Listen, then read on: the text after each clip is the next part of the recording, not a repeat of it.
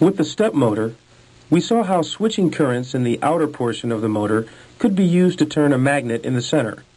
In the brush motor, the position of the motor coils and magnets have been switched so that the coils are on the inside and the magnets are on the outside.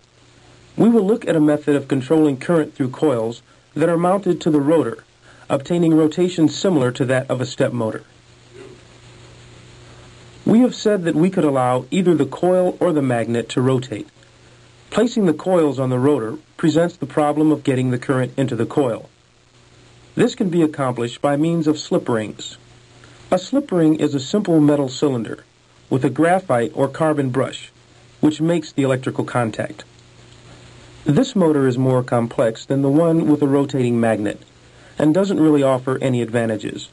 However, if we could automatically reverse the current in the coil when the two fields align, the rotor would continue to turn in the same direction and would end up spinning continuously.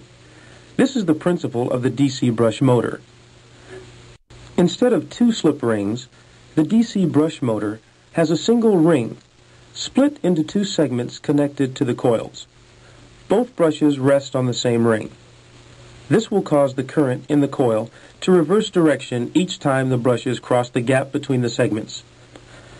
The action of reversing the current each time the coil rotates is called commutation, and the segmented ring is called a commutator.